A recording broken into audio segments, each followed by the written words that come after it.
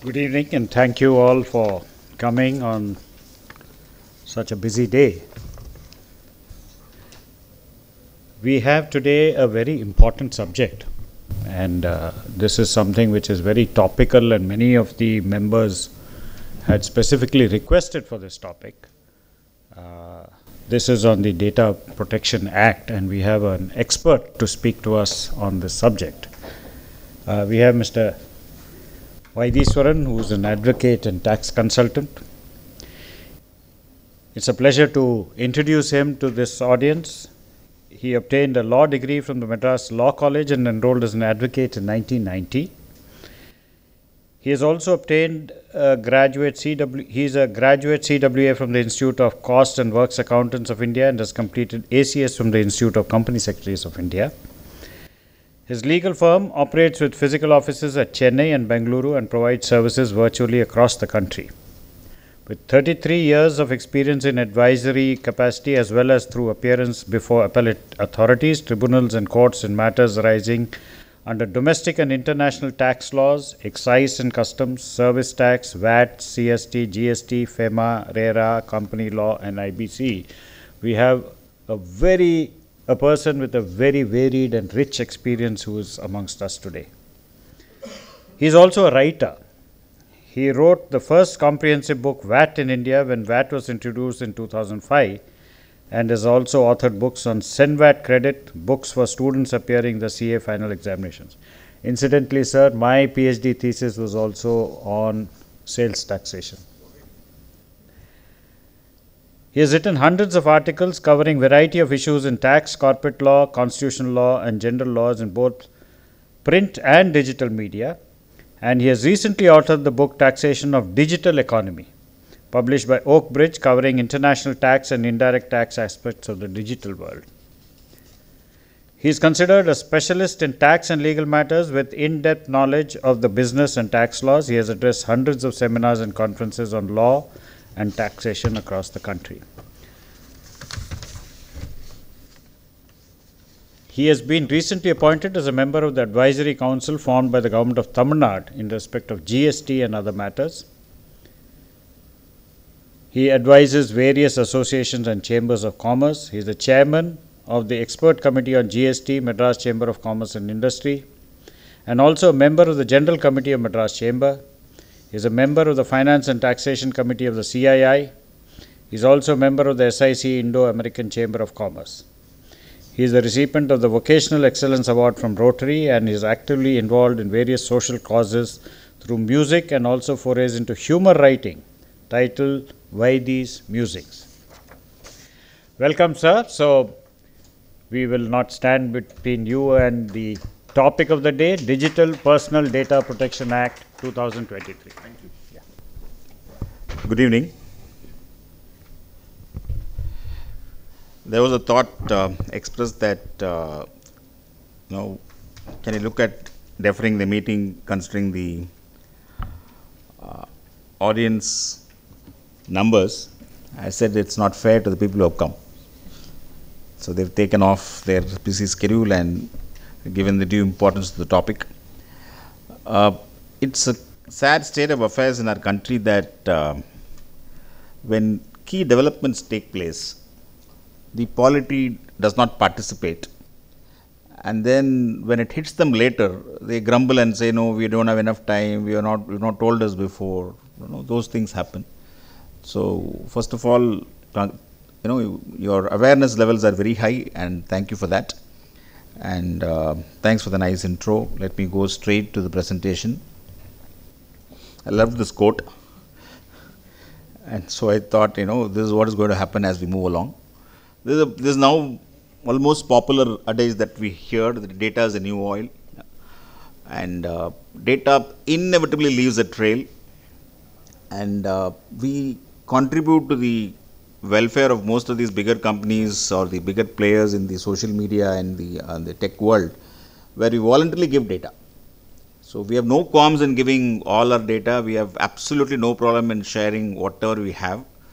And uh, we are surprised by the fact that Facebook knows more about us. You know, the, the surprising part is most amusing because we tell Facebook. So we tell every other uh, tech giant as to where we are, what we are doing, what we are buying, what we are not buying, who's our relative, who's not our relative, what is our relationship. Every aspect of our life is, is virtual. And there are people who on hourly basis report their schedule as to what what they're doing and things like that. So then obviously this data is processed, this is used and marketed, and effectively you get your uh, privacy also invaded. So there's constant debate on privacy versus freedom. One thought of one school of thought is that you know I have my right of privacy, I cannot uh, have anybody using my data. The other thought is that everything is free. What is not what is wrong in not using it? We never had a specific law for data protection. UK started this with UK GDPR. It's a very famous legislation which changed completely the way you do business in UK. In fact, even with the way you deal with business in UK changed after the GDPR law. So that is why this law will have a massive impact in India, whether for your business or you're in industry or you're in society or you're in a social cause or you're just an association or a charitable organization or you're running a center or a school, college, whatever whatever you do, you will have an impact of this legislation, which you will see as we go forward. I'll skip some of these slides, except I'll just talk a bit about Puttaswamy's case, which is the famous uh, decision of the Supreme Court of the right of privacy, where the Aadhaar Act was challenged. And when the Aadhaar Act was challenged and when it was upheld, the court recognized the concept of privacy being integral aspect of personal liberty and essential, but they also said it is not absolute right and can there can be reasonable restrictions. So what we have done is we have enacted a new legislation called as DPDPR, D Digital Personal Data Protection Act, and both houses of parliament has passed the legislation, assent of the president has been obtained. The only one waiting part is the notified date, and that can happen anytime. The notified date would be followed by some kind of rules and things like that, where you will have to implement various parts of it. So, what does it apply to? It applies to processing of digital personal data that is data in digital form as well as data in physical form which is digitized subsequently. So, typically if you have data in a physical format which you subsequently scan it and upload it or you you know automate it in some form and convert that into digital data then the act applies to you also. You cannot say I only collected physical papers etc. So, physical can easily become digital and something which is collected physically and later on can modified as digitally can always changed. So, typically you have professionals who scan data, all of them will get into applicable. It applies to processing of digital personal data outside the territory of India if that processing is in connection with any activity relating to offering a goods or service to data principals in India. So, that means if e-commerce companies located outside India, they deal with consumers in India or they supply digital content to somebody in India or you're providing online gaming from outside India to India, or airlines outside India, tourism outside India, hotels outside India, all of them collect your data. They collect your uh, ID basically. They collect your email, they collect your identification data, they collect your passport copies, they collect your information about you because they need to process all that for your own benefit, for your own reservations. But all that is collection of personal data and they fall under the Act. So the scope of the Act is very, very wide, not necessarily confined to Indian companies, it goes beyond Indian companies. So, non-applicability is a critical part. When can you say that the act is not applicable? For example, if I am going to hire a cook and uh, I want to be sure about some elements of uh, you know safety and security, and therefore I collect the uh, ID card of the cook for domestic purposes, or I hire a driver for my own personal use and I collect his you know driving license, then that is something which is for personal or domestic purpose that is out of the act. But if the same thing is done by the company when they hire a caterer and collect the data or when they collect uh, multiple driver data you know for the purpose of uh, employing in the company, act will apply to them. So personal or domestic is what is excluded. The other one is where you voluntarily go and put this data publicly for example, there could be these influences. Today, if you have to, look at social media, there is a number of YouTube influencers. There are people who recommend that this is the best product for you to get cholesterol at highest levels. This, this is the best food that you can eat for you to die in the next few years. Or there, you know, there are gluttons you see, you know, the way the kind of food consumption that they do online can scare you. But there are also good players who talk about health, who talk about uh, physical fitness, who talk about you know en entertainment, who talk about so many other things. These influencers post their own personal data. So there could be somebody who's very active and they pro promote a blog on their cosmetics or beauty uh, or, or, or, physical wellness, etc. All that, if you yourself are voluntarily putting it in social media, Act will not apply. You cannot claim protection. So people who are bloggers who actually have active presence in the social media and they provide the data, they cannot say I need protection from this. Uh, I need protection through the, through the legislation. Similarly, if you have a social media account like Instagram, it's very complicated because Instagram you can have a public account as well as a private account. So you can have a public post as a personal post. If you do a public post, then the act doesn't apply, it cannot give you protection. But if you put it as market as private, then the act comes into play. So you can actually switch in Instagram on, on a daily basis, on an hourly basis. So it's going to be quite a challenge for some of these companies to implement this legislation. So then the key question is what is this personal data? The definition is very clear. Any data about an individual who is identifiable by or in relation to such data. Very wide. Which means your identification numbers, KYC, passwords, financial data, health data, sex data, sex orientation data, biometric, genetic data, caste details, all of them could be identifiers. UK law goes a little more further. They try to identify what text is identified, but Indian law is very simple. It says we will try to look at any data which can identify a particular person. Now, this can be as obnoxious as a company collecting your mobile number and email number for security reasons as you enter that building. There will be a notebook outside of the watchman collecting that data. That is, you are going to identify a person. You have collected his mobile number, you have collected his name, you have collected his email ID, and you have collected any other information, his address, etc. You have collected personal data that because that person can be identified. That's the purpose of that security. The purpose of the security is to identify. And some companies go even one step further. They ask you further proof of your ID and scan that data into the system, including they take a photograph of you and then print you a visitor's pass for you to go inside the organization. All that means that you have collected a data which you can identify a person. Then the entire law comes to you. What all should you do with it? What all you cannot do with it comes into play.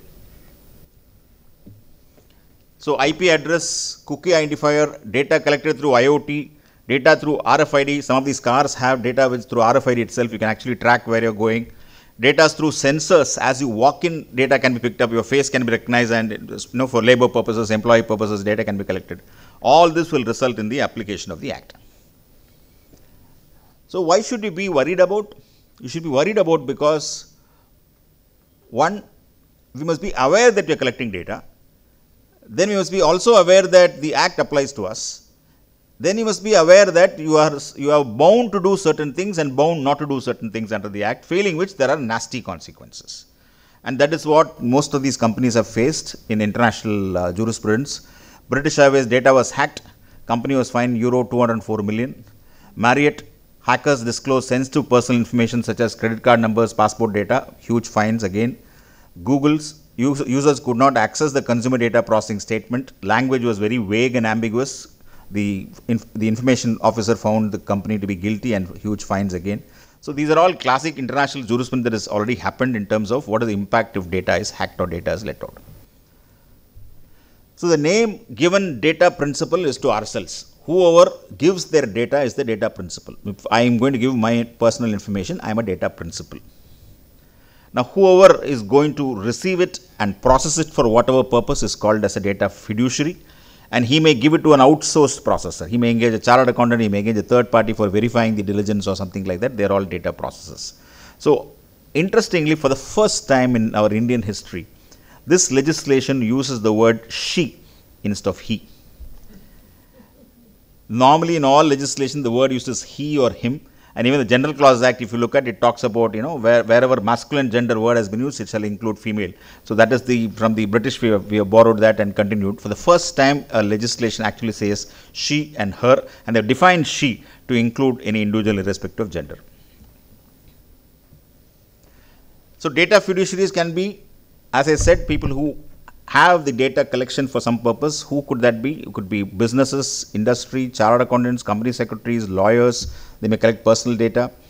All businesses collected data either for business purpose or some other statutory verification. For example, if you are supplying to some other uh, party, that party will say, for you to be recognized as a supplier, I need eight items to be clarified from you. I need your uh, GST number, I need your name, I need your ID, I need your CFO's data, I need your personal ID. Then only a vendor code will be generated. So obviously you sh share this data to a company. So companies would collect from suppliers, vendors, contractors, service providers. So everybody gives data. You give your PAN for TDS purposes.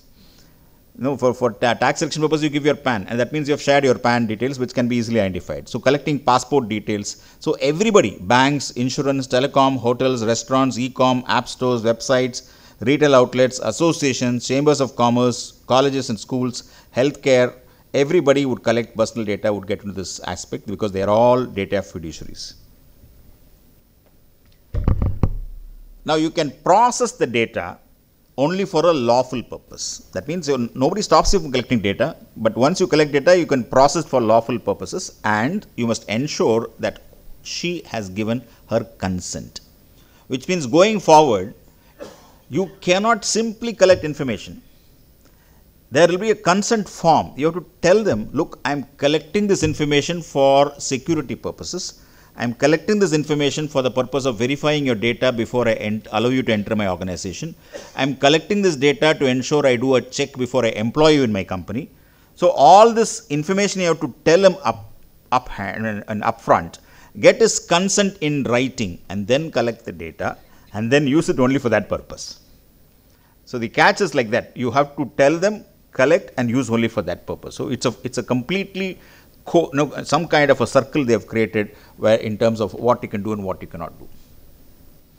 And this consent must be free, specific, informed, unconditional and unambiguous, which means you, you can't have a eight-page complex, lengthy document prepared with lawyers' uh, largest in terms of English language and expect them to, you know, simply sign, I agree that is not possible. You, can, you, must give simple and plain language, which is tough, which is going to be the biggest challenge for lawyers like us to, you know, uh, I, I, still, you know, uh, I actually enjoyed my precis writing classes in school days. You know, we had this, you know, in school those days, in at least our generation had a, a, a subject on precis writing where they'll give you two pages and ask you to write in one paragraph.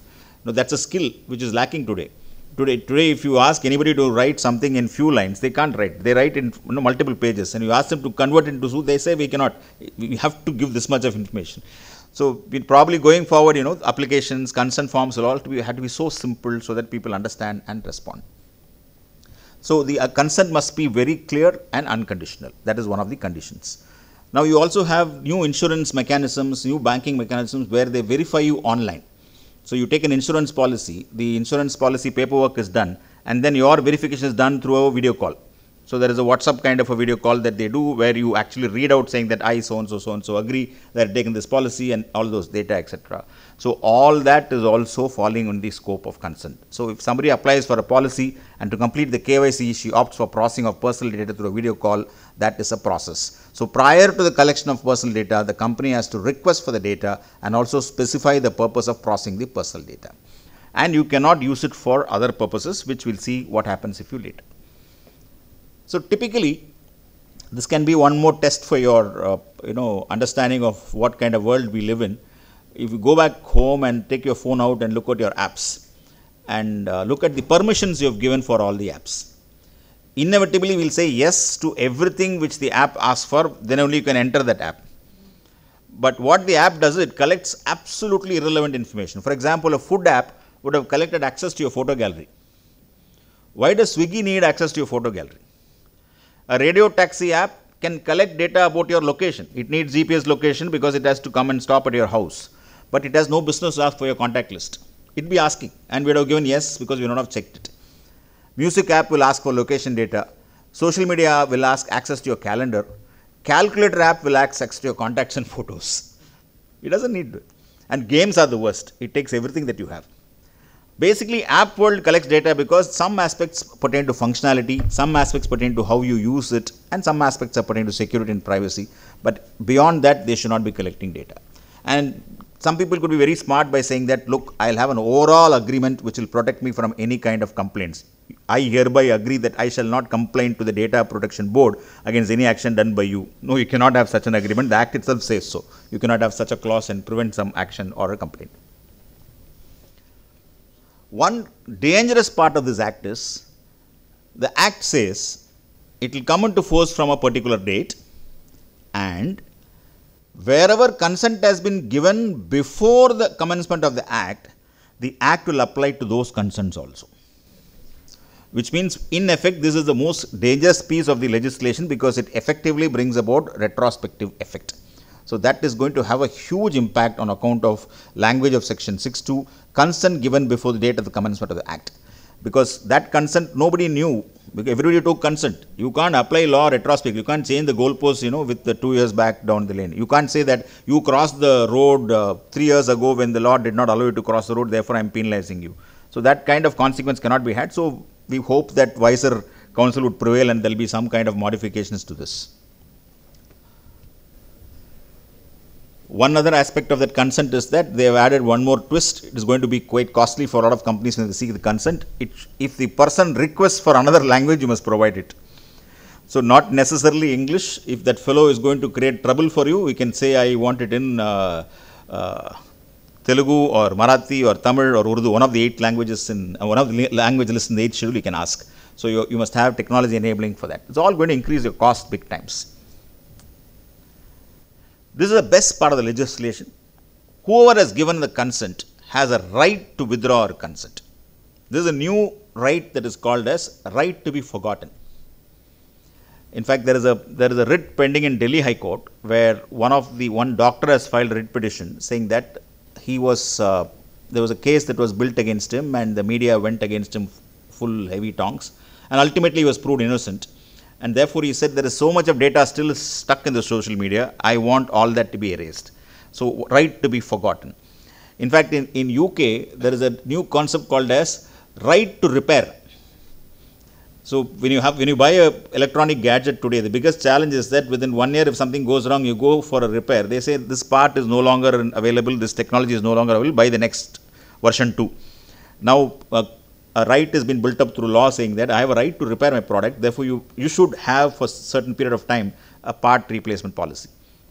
So right to withdraw consent at any, any time, the ease of withdrawing must be as simple as ease of giving the consent. It cannot be the Abhimanyu route where you can enter it but you cannot come out. No, that cannot happen. You must be able to easily take it out.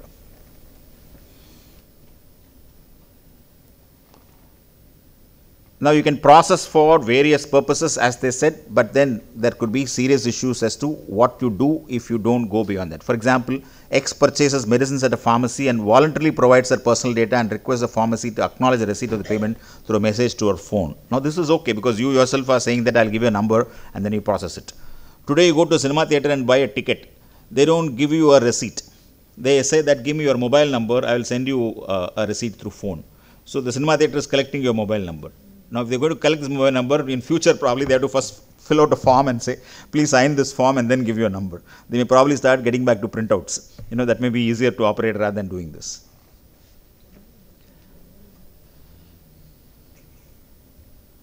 Now, the data fiduciary can process personal data for the state. Now, the state has so many policies. State in the sense government. They have subsidies, they have schemes, they have benefits, they have methodologies, you know, various formats where they could have direct transfer benefits and all that. So there could be lot of data collection which may be required for the state and therefore that is done and that can be used for other purpose of the state also. Certain standards will be laid down.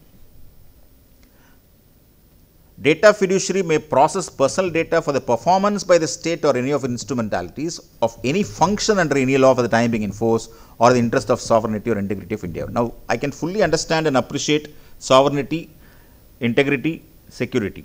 All these things you definitely have to process the data and do whatever you want to do. But what is the purpose of you know processing personal data for any function under any law for the time being in force? It could be very very wide and the potential for misuse is huge.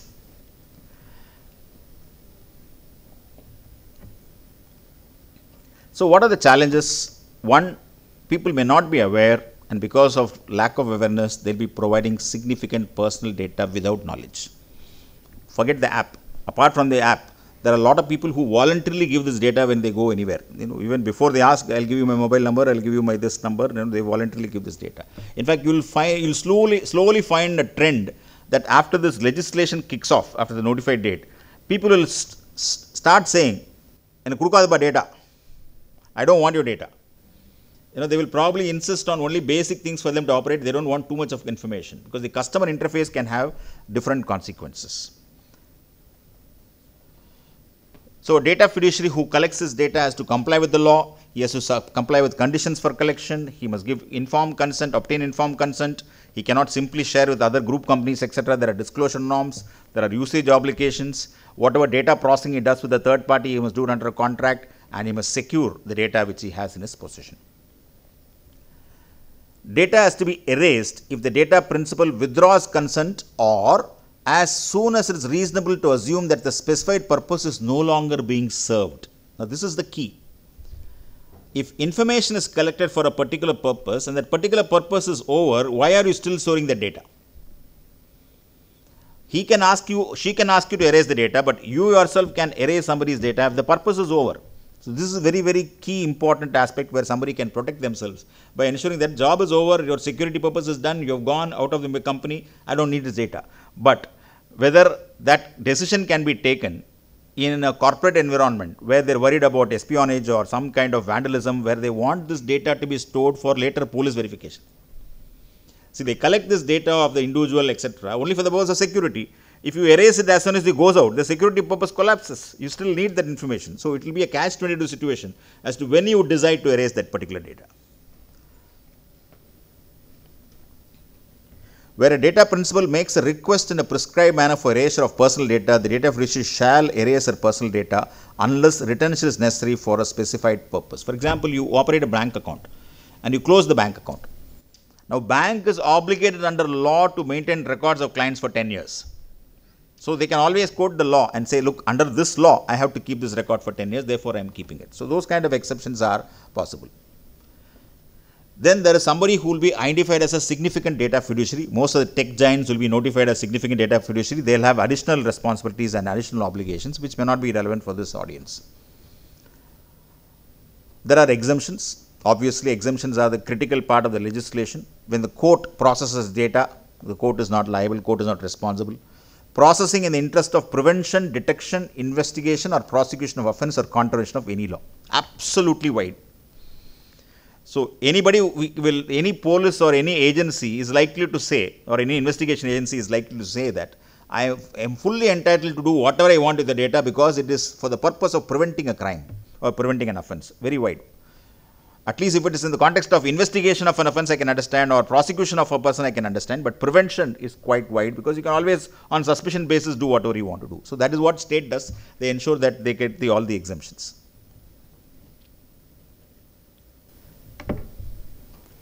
can skip that for the moment. So, coming to the last few slides, as I said, Act could be notified anytime. Today we are October 9, 20th. I am expecting the Act to be by maximum notified date could be December 1st or even somewhere mid of November. Eight rules are getting drafted. It will be in shape and quickly rolled out. And then if that happens, the Act would be specified that for bigger companies, it will happen in six months. You have to be ready. For smaller companies, maybe nine months smaller businesses, etc. They'll give you some kind of time because you have to change your systems. The biggest challenge would be to change your systems, change the way you do business, change the way you talk to people, change the way you interact with people, all that will have to change. Time would be given for complying with the new law. GDPR UK gave two years' time, but our minister has very clearly said that is all too much. We are all in a digital era where you have already things in place, you can do much faster. Two years and all don't expect, we'll give much shorter time. There will be a data protection board Unfortunately, it is going to be another set of uh, uh, persons from the you know they, they have categories of uh, specialists who they're going to talk about but inevitably we know how it works it is mostly from the the uh, uh, government community which people will be appointed. Biggest challenge is this language. Everybody collects data no doubt about it. Any unauthorized processing of personal data or even accidental disclosure, acquisition, sharing, use or loss of access would attract certain consequences, which means accidental disclosure by mistake data goes out. By error or something happens, data goes out. What are the consequences? For example, Ms. Shine is an employee at YMZ, a top modeling agency. She takes care of all the contract or signing of the models she receives an email on her work desktop that she has won tickets to an exclusive gala event and a link is provided. With enthusiasm, she clicks the link over. Hacker has come into the system and this is typically happening across the country. So, hacker enters the system and takes all the personal data of all the various models. Now, the company is liable for breach of the act. And if that kind of thing happens, what are the consequences? Huge penalties will be determined by the board. Of course, board will take into account nature, gravity, type of offense, nature of breach, all those things. But the penalty numbers are mind-boggling. If there is a breach in data fiduciary obligations, your penalty is up to 250 crores. So this is the saddest or powerful part of this legislation. It no may, people may not even have that kind of turnover, that, that that kind of penalties that are contemplated. That is the seriousness of this legislation in terms of what is contemplated. So opening of Pandora's box in complaints, it will also open up. Everybody will start complaining to data boards because when they have a chance to impose a penalty of this magnitude, other unethical practice will also follow. So complaints will also start. And of course, board will start its inquiry, closure, all those aspects, and it will become a full-fledged legal law segment by itself. Timeline for compliance, as I said, different timelines are likely. Market practice of collecting large volumes of data by taking bundle consent will have to change. All your contracts policies have to be revisited. Your data sharing policies should be revisited. Your data security has to be strengthened. Your consent managers will have to be appointed by companies to ensure that they operate in the right side of law.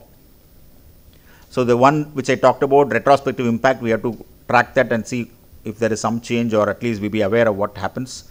Contracts definitely have to be redrafted. All of the existing contracts will not settle the, will not, will not meet the requirements of law. New contracts have to be drafted carefully, taking into account how, how the act is going to come. All your communications will have to change. Basically, what could, what should happen is you should review your business and see who has consumer interface because what happens is a big organization will have multiple intermediaries, multiple contractors, subcontractors, sub-vendors, etc., whom they allow them to do in various forms of business. And they would engage further subcontractors, etc., and they would interact with the consumer and collect data for the company. So you may think that I am not collecting data at all, but somebody is collecting data on your behalf and that would affect you at a later point of time. So you need to do an analysis to find out who is collecting consumer related information for our company and how does it work. So the interface, the entire supply chain has to be sensitized into understanding what is collected and how is it collected. So every organization institution has to examine the applicability or non-applicability and review your documentation. All your personal data of employees which you are collecting may have to be reviewed and look at how you collect consent, how you collect uh, how you store information, how you withdraw consent, etc. Main thing, your cyber security spending has to go up. There's no other choice. You cannot, you know, எனக்கு ஒன்றும் ஆகாது kind of thing. இதெல்லாம் யாருக்கோ somebody else has an impact. No. You may have to strengthen your cyber security system, at least ensure it is reviewed. In fact, I remember a, a joke um, it's, a sad state of affairs. Uh, you know, a massive security assessment was done for a big institution, and they found uh, loopholes of cyber security. And they basically they found that look, your password system is very bad, and uh, your passwords are not adequate at all. You keep changing the passwords on a, on on a weekly basis, even if you want to on a daily basis. So the company went overboard and changed on a daily basis. So and then a uh, few months later, the professional came back to verify and said that, yes, sir, uh, we follow your system completely. We have changed passwords on a daily basis. And that's a huge thing. Your guys are very smart to operate on a daily basis. How do you manage? No, no. Every day morning, our office boy gives the, that day's password to everybody's desk. or cyber security and security. So cyber security system you have to definitely enhance to prevent accidental disclosure. Of course, there is nothing as perfect security. Something can always go wrong, but at least you can when you when the when somebody calls you for penalties, you can say, look, this is what I've invested this is what I have taken as efforts and despite that something has happened, could be at least some kind of reduction of penalty.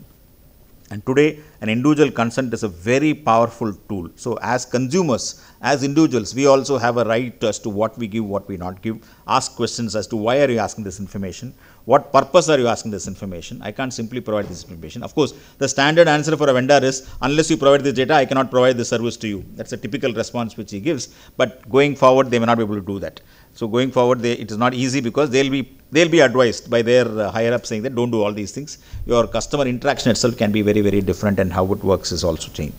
So this legislation is, in my view, a path-breaking change in Indian law and how Indian businesses, Indian institutions operate, how they deal with individual uh, personal data, and it is also a big eye opener from an individual right perspective as to he for the first time he she gets the right to protect her own personal data Of course, if she's going to voluntarily put something on, on the space there and say do whatever you want, that is her call.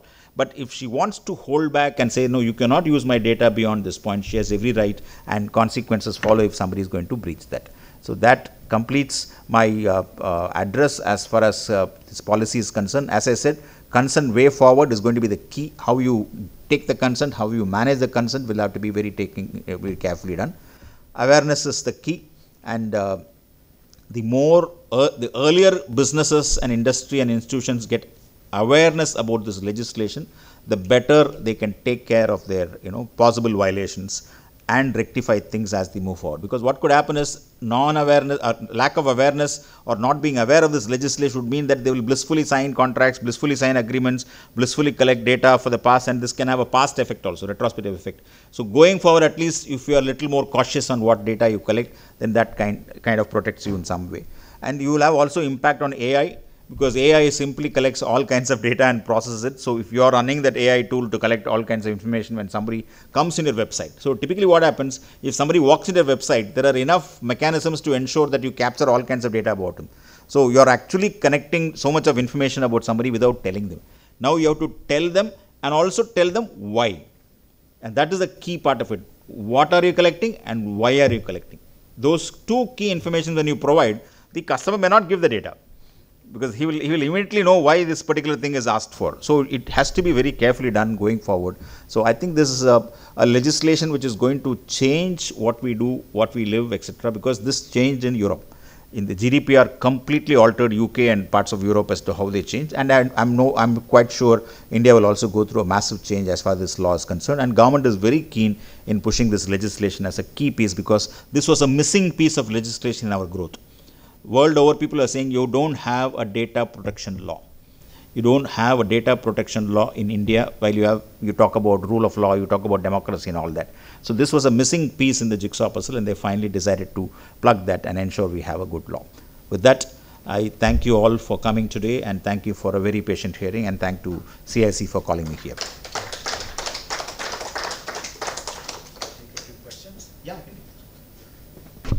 So we are open for questions. Anyone has a question? How much is the government liable to this law? Is what is called as a Justice Sri Krishna Committee report.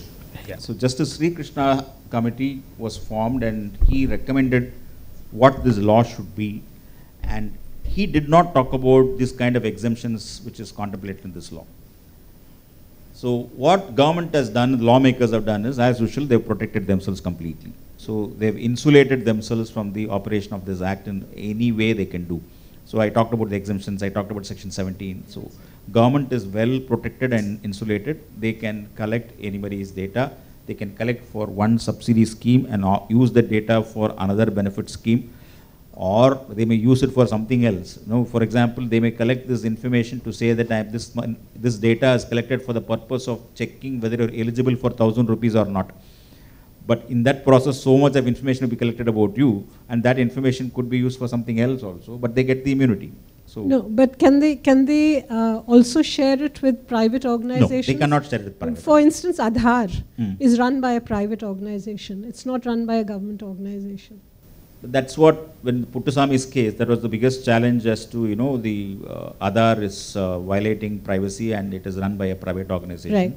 And in Supreme Court uh, that organization, I forgot his name, he made a presentation before the court and actually did a PPT before the court and established and uh, how it is secure and all that. But if you look at the old Aadhaar Act as it stood, the data could be stored for about seven years or something. But uh, Supreme Court struck it down and today any data collected for the purpose of issuing Aadhaar has to be destroyed within six months. So Supreme Court gave some guidelines, but they upheld all the provisions of Aadhaar, including UDAI. So UDAI controlling that Aadhaar, etc., is done. Yeah. So some element of Aadhaar can be seen, but the main, main element of Aadhaar cannot be seen, even if it is used for identification purposes.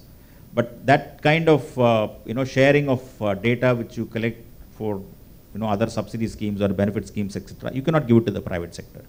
Governments can share amongst governments. Governments can use it for cross schemes or government can use it for their own purposes, but they can't sell it to the private sector or share it to the private sector.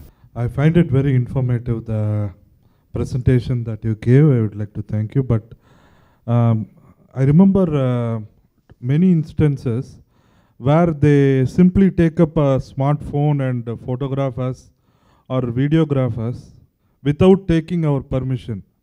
And you find in houses uh, these cameras, uh, it will be facing the road so that they catch the uh, videograph the public also. Is that right uh, in this const? Uh, because this is an extension of data protection also, and right to privacy is also breached. So, would you enlighten us on? Excellent question. In fact, uh, today the level of surveillance is probably the highest in the world.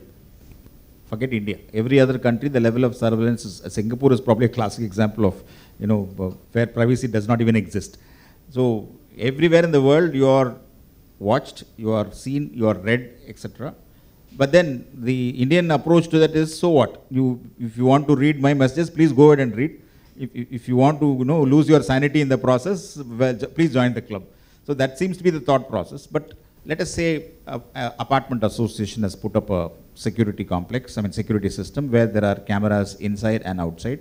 And as you enter the apartment complex, you are photographed, you are videographed, your identification is done.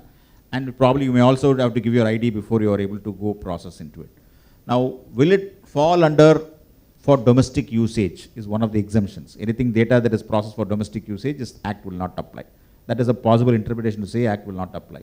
But if it goes beyond that, for example, while you're walking in the road and some collection of data happens through a camera or something like that, now they may say that this is for the purpose of prevention of a crime.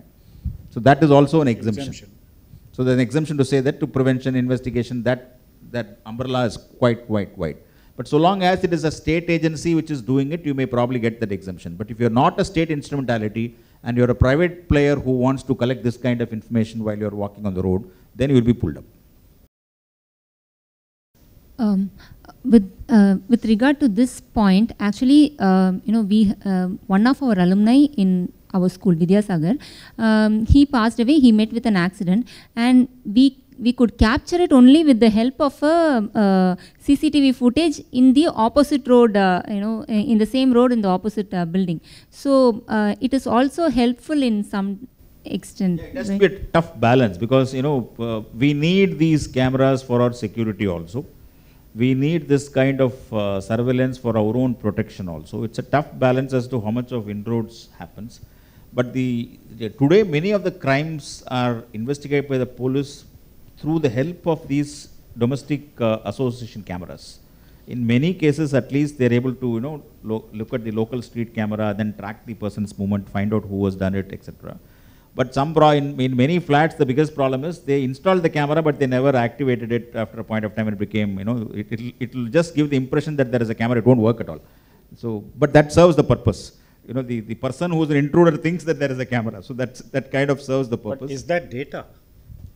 Is Photos that data. covered under digital data? Photos data. Photos data. Images is also data. And what comes under digital data and what doesn't come under digital data? And a second question is like uh, uh, we ngos uh, you know or uh, uh, community workers just just like that get data of um, you know people who we uh, work with.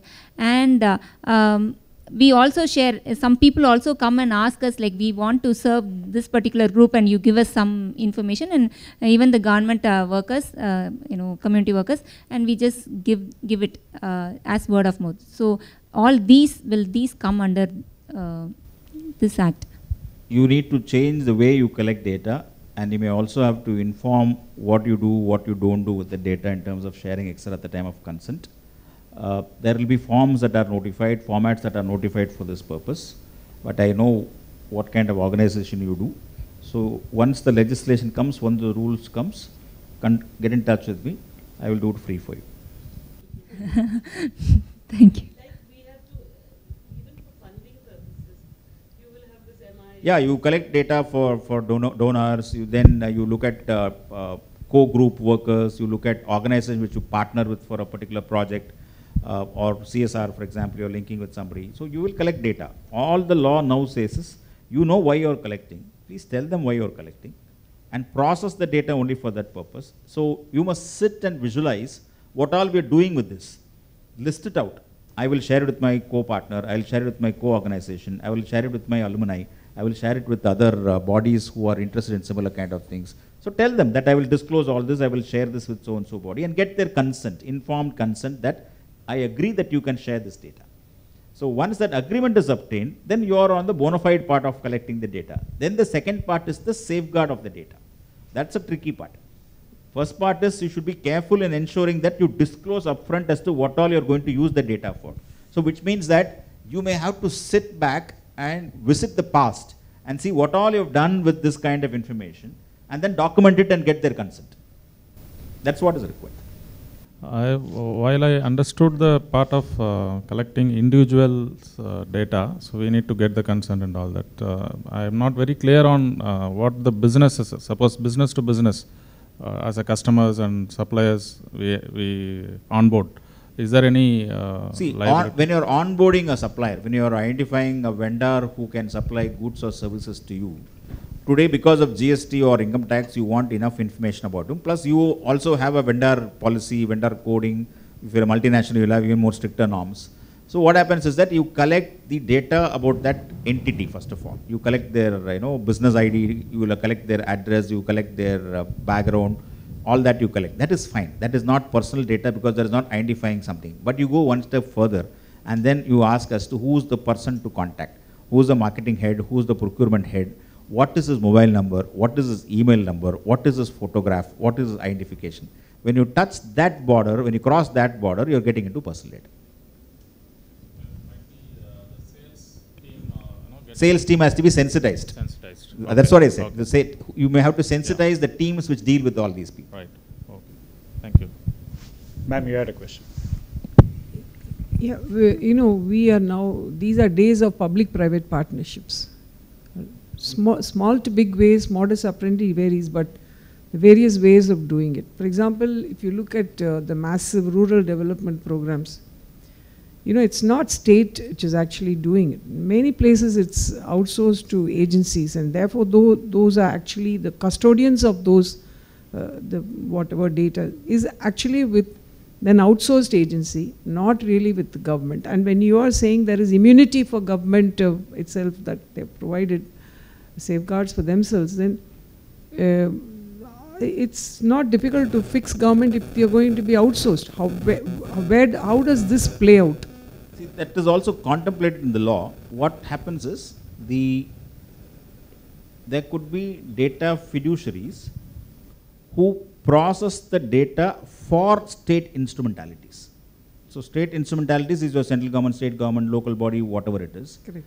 They engage a third party for the purpose of processing data for their policy, for their initiatives, etc. So when that processor is doing this work for the state instrumentality, he is also given the necessary protections. It will, it will be identified as a permitted purpose. It will not be identified as an illegal purpose. So already consent is taken at the state level in terms of your information. You, know, you are, you are part of the scheme, whatever data will be used for other schemes, one line will be there. That processing of the data, KYC verification of that person, verifying the background check of that person will all be given to an outsourced party, third party or a PPT, uh, public power private party, or some other charitable organization or an NGO which does that or a IIT which does that. All of them would do all that. So when they do that, they will be working for the instrumentality of the state in connection with the state scheme. They will get protected. They will also get protected. Law says that? Yes. Working for the instrument. I had a slide also on that. Who is the implementing agency for this act? They, as per allocations of business rules, IT ministry. Yes, MI, MEIT. MEIT and they are going to create a data protection board which will be a very powerful body which will determine the, how the act is implemented and that will be the body which will decide on complaints, that will be the body which will hear the disputes, etc. And uh, hopefully it has got good members. In terms of capacity building, what is the, the road ahead? How is it being planned? Because it's mass. What's happening is massive. My biggest worry would be lack of awareness. The, this, this number itself is an indication. Normally, you should probably have you know hordes of people attending this kind of an event just to be aware of this. And uh, even in the uh, general space in industry, because I deal with all kinds of clients. The awareness level is very, very poor because they think that it has not come, it won't come, or it is yet to come to me. So they and they think that overnight they can change. So as you said, the capacity building will start from understanding your own business. That is the biggest challenge would be uh, in-house assessment of where is the possibility of leakage or where is the possibility of collection of data because you don't even know who's collecting what data. Today the biggest challenge is everybody collects information and the information is not analyzed, information is not subject to any kind of audit, data is not subject to any kind of audit. It just flows up and down in the organization. So your biggest challenge would be to understand your own model and then see where are the interface points where information is collected and then start reviewing whether this is really necessary for your functioning and can you stop even before the act comes whether this you know we can stop collecting this data and then where you decide that these are core functions where data is in- inevitable and I have to collect it, then why the collection of data? What is the usage of that particular data? If you start that, then comes the last part of say, your securing that data. And that is an IT function, which your IT team will take care. They will enhance security, they will enhance cyber security and take care. Is it not a chicken and egg story? Because before they do the review, they should know what is there in the act that they should be looking at in-house also. That's what I said. No, it's unfortunate that the awareness is so poor. In, you, you'll be surprised that uh, this legislation has been understood by very big players very quickly. Uh, some major Indian companies, businesses have understood this impact of this and they've already started reviewing, talking to us on contracts, etc. The biggest hit will be on MSME. MSME will be the biggest hit. Because they are all struggling with cash flow issues, they have working capital issues, they are survival issues. So, you know, this is their last priority when it comes to all that. Vanda Pathakalam, sir, no, their biggest today is tomorrow should I pay this, should I pay the PF, should I pay the EB or should I pay the GST or should I pay the TDS? Which fellow is more aggressive than the rest? I will first pay that, then move forward. That is today's scenario. So for him, if it hits, it'll, it'll wipe him out. So that is where, you know, probably government should also think about a longer cushion period for MSMEs instead of, you know, have a standard level. Maybe அது அதுவும் அதுவும் pro- ரெண்டு வருஷம் கொடுத்தா ரெண்டாவது வருஷம் முடிய வரைக்கும் வெயிட் பண்ணுவோம் so it's like you know exam postponing by one month you'll wait for another twenty nine days before you start preparation Mr. Suresh. What that you're talking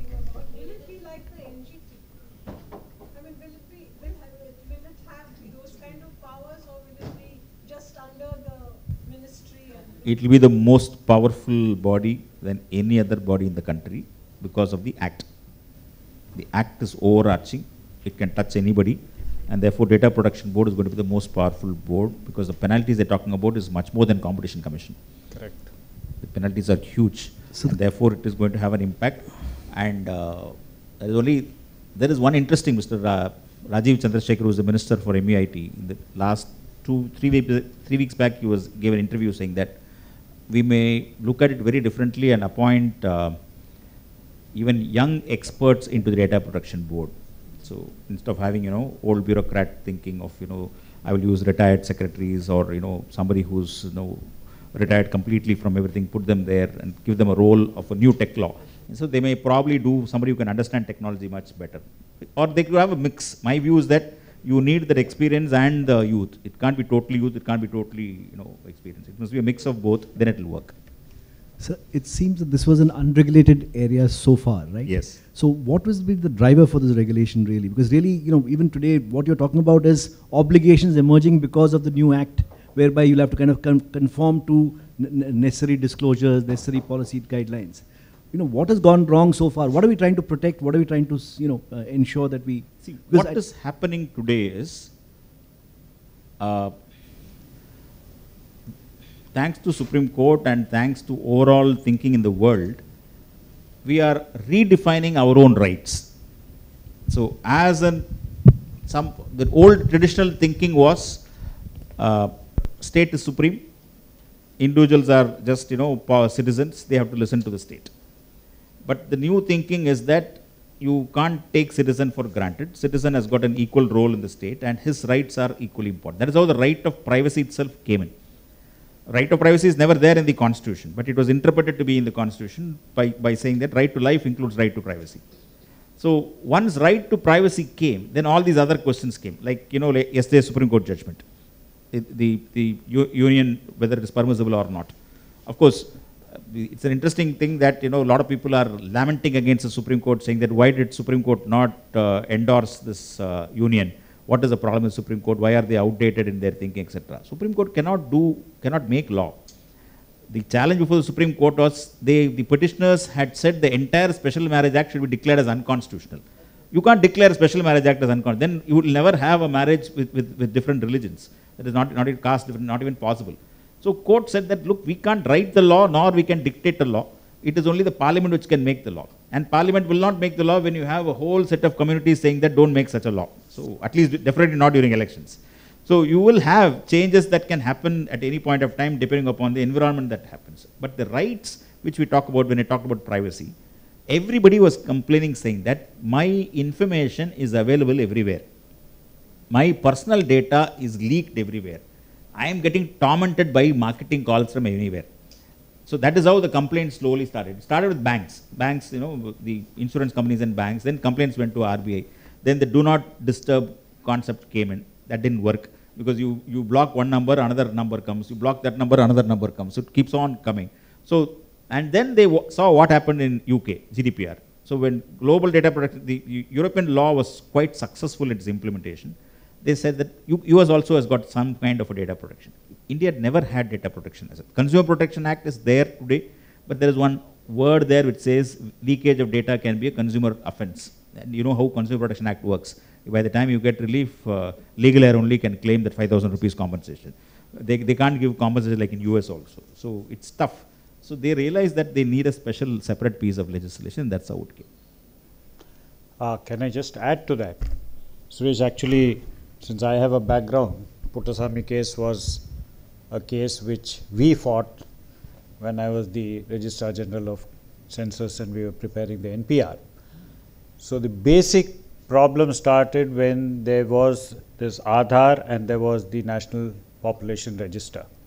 The population register was being done under an act, which was the Citizenship Act, whereas the Aadhaar did not have any legal backing. That was when people started agitating for a protection. Uh, when we are having, I had the data of a billion people in my computer sitting on my table. And if it had leaked, I would have been in jail for the rest of my life. But the point was that there was no law. And that was when Justice Sri Krishna was appointed to look into privacy issues, and there were a slew of petitions before the Supreme Court on the on the ground that look, state is collecting all this data, what is it going to use it for? Because they had quoted many things like Nazi Germany, where Nazi Germany collected this data which came from the census, identified those families which had to be exterminated and went about systematically, you know, eliminating them. So those fears were there that was the state collecting all this data and will it be able to, you know, replicate something like the Holocaust uh, which happened. Germany has a law which says that no data can be collected and stored. Any personal data can be given back to you in the form of a card where you choose whether to disclose that data or something for availing a service, but the state will not maintain any database of its citizens, any private citizens' data will not be stored or collected and collated. This is the German law. That is where it started. This whole debate started, and uh, Justice Puttaswamy's case was a very. It, they were, if you go to the uh, surf the net, there'll be 3,000 odd uh, things in the net about data privacy, where uh, the state is, you know, collecting data, what is it going to do with the data, what is the protection for my data, etc. So it started then. Justice Sri Krishna gave his report, but to become a law, it has taken another 10, 10 years. We are talking of 2011, it's already 23 right, still. they have insulated themselves from it anyway. The state has insulated immunities. That's what Sri Krishna didn't want. He, he wanted accountability also, Yes. but uh, it's given a go by. Yeah, So that, there's a Yes, we have a last question there, please. Sir, there is unlawful accumulation of money in various sectors, in education sector, business sector, industrial sectors, and not only in the political sector. It is happening everywhere, in all sectors. So, how do we control it? By using digital recording You should have of listened. many things. You should have listened. Is it possible in the name of privacy? No, you should have listened to our. Do we stop uh, recording so many developments in each sector? So the digitalization should uh, be helpful to uh, remove some problems in the society, corruption and so many things.